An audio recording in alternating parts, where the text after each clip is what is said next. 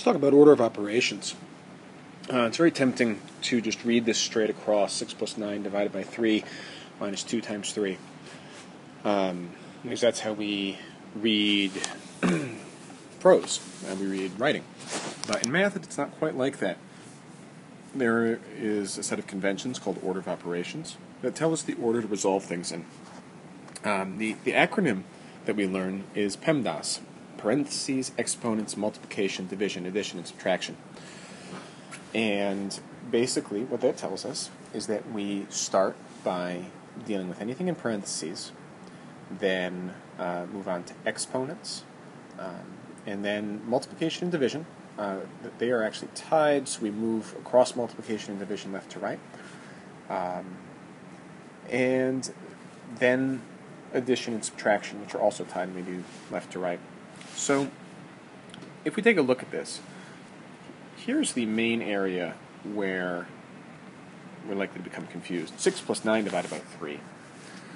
Um, if we go left to right, 6 plus 9 is 15, divided by 3 would be 5. But that's incorrect because order of operations tells us that division and multiplication come before addition and subtraction. So 9 divided by 3 is 3, and then 6 plus 3 is 9.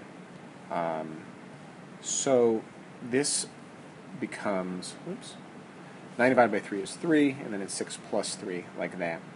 Um, now, before we even do that, though, we should have actually gone over and taken a look at the parentheses. It doesn't affect it in this case, but good habit, always start with parentheses.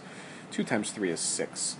So now we have 6 plus 3 minus 6. Um, and because this is addition and subtraction, we can now just go left to right. 6 plus 3 is 9, and then minus 6, and 9 minus 6 is 3. Um, recognizing this is just a matter of practice, uh, one other thing to be aware of is that the square bracket, like this, 2 plus uh, 2 times 6 minus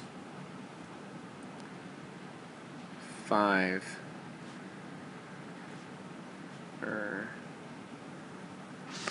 5 plus 2 and square bracket um, has to be resolved like this. Square brackets are parentheses, so we know we are looking in this area, and then there's a parenthesis inside that, so we go even closer and just look at that one. 5 plus 2 is 7. And we have 2 times 6 minus 7, all in parentheses, and then that's we add that to 2. And then in that's 2 plus, we do the multiplication before the subtraction, so that's 12 minus 7. And that's equal to 2 plus 5, which equals 7. Um, pretty straightforward stuff. One of the confusing things with PEMDAS, that acronym, is that multiplication, division, and t- are tied, and addition and subtraction are tied. Um, but that's not clear right in the acronym. I think I did a very poor job explaining that when we first started learning about this. Um, and it's easy to make mistakes if you don't know that. So anytime you see multiplication, division, or addition and subtraction, do just take them in the order they appear. But it's when going to see it the most is with problems that have a combination of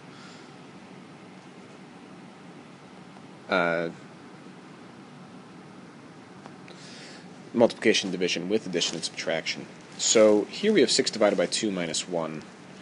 Um, actually, this will give us the same either way, because if we go right across, it's 6 divided by 2 minus 1. But order of operations tells us to do the same thing. 6 divided division becomes 4 subtraction, so we have 3 minus 1, which equals 2. Here's another one, 9 minus 6 divided by 2. Here we see what the impact can be. We have to do 6 divided by 2 first, so that's 3. And it's 9 minus 3, which equals 6. If I did it the wrong way, and I did 9 minus 6 which is 3 divided by 2 would be 3 halves. That's incorrect. The answer is 6. Eventually, this will become automatic. Um, the thing is to remember that it's out there and remember that you have to resolve things in a particular order.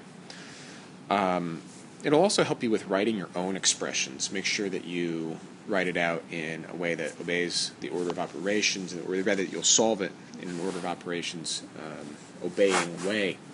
Uh, there, there's no, as far as I know, special math reason for why the order of operations are what they are, um, but there just has to be a system. Um, so that we know how to read math because that's really what this is is it's the rule for reading math and how to interpret the expressions that are written. Um, make, make sure that you do the practice homework for this because like i said i think this is something where we got a little bit confused when i was first explaining it and i hope this has cleared it up. Um, so one last time the acronym to remember is PEMDAS. And the thing to remember about it is that parentheses are first, followed by exponents, then multiplication and division, then addition and subtraction, like that. One, two, three, four.